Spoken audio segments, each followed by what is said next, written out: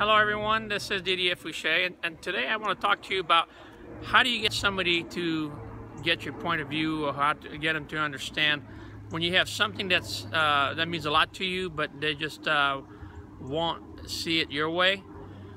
So if you stay with me, uh, at the end I'm going to share this little tidbit and um, it's something that you can use for just about any situation to where uh, you run into where somebody is just not agreeing with something that you're interested in or something that you want to do.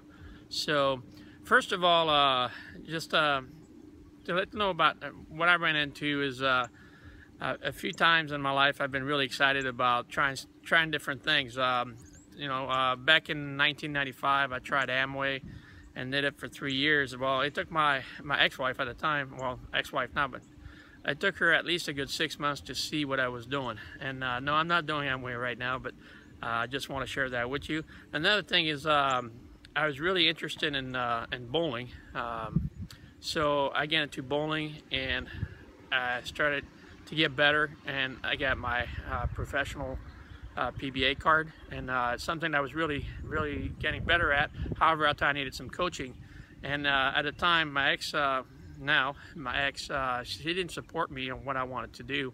So, you know, sometimes you're really interested, but if it's something that you really feel like you you want to follow, just go and do it. And uh, eventually a person will come along with you.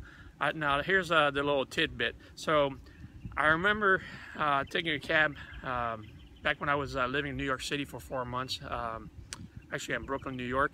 And the cab driver was from India, and he related the story to me he said, if you have a horse and he won't go wherever you want him to go, stop beating the horse because eventually you're going to find yourself walking.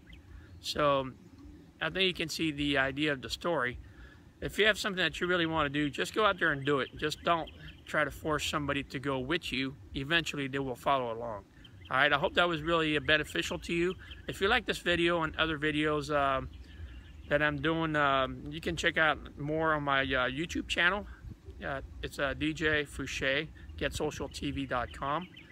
And um, you can uh, share the comments, likes, dislikes, whatever you, you think. Uh, anything's appreciated.